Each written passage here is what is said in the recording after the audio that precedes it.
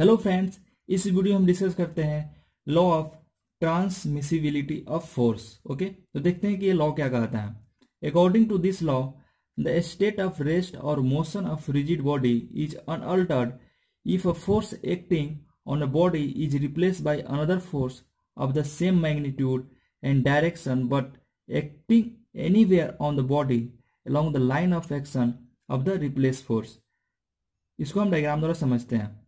Suppose ये rigid body है। Okay ये मोशन में है। ओके ये मोशन में है। इस पे हम फोर्स लगा रहे हैं। एक पॉइंट पे फोर्स लगा रहे हैं। ये फोर्स का लाइन ऑफ़ एक्शन होगा। ओके सेम बॉडी को हम यहाँ पर रिप्रेजेंट कर रहे हैं। सेम बॉडी पे अगर हम यहाँ फोर्स लगाएँ, लेकिन वो फोर्स क्या हो? सेम लाइन ऑफ़ एक्शन में हो और मैग्नीट्यूड भी सेम होना चाहिए। क्या क्या same line of action line of action same magnitude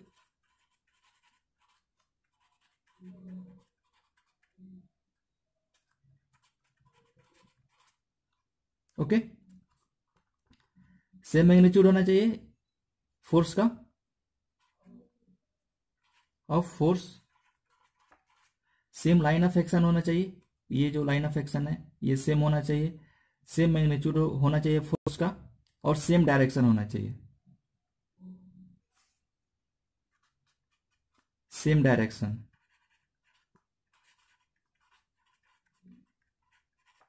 okay तो ये जो रिजिड बॉडी है, इसके मोशन पे कोई इफ़ेक्ट नहीं होगा। ओके इसका मोशन जो है वही रहेगा, कोई इफ़ेक्ट नहीं होगा। इसी को हम लोग law of transmissibility of force कहते हैं। ओके एक बार और बता दे रहा हूँ। सपोज़ ये रिजिड बॉडी है, इस पर हम कहीं फोर्स लगा रहे हैं। ओके ये फोर्स हम लगा रहे हैं। ये फोर्स का लाइन ऑफ़ एक्शन हुआ।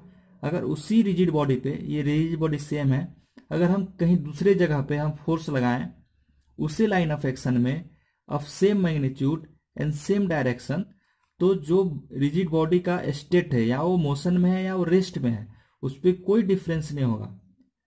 वो जो उसका स्टेट है, वो अनअल्टर्ड मीन्स चेंज नहीं होगा। इसी को हम लोग क्या बोलते हैं? Law of transmissibility of force okay इस वीडियो में इतना ही। अगर आपको ये वीडियो अच्छा लगा तो प्लीज़ लाइक करें कमेंट करें शेयर करें, और लर्न विथ अब से चैनल को सब्सक्राइब करें। Have a nice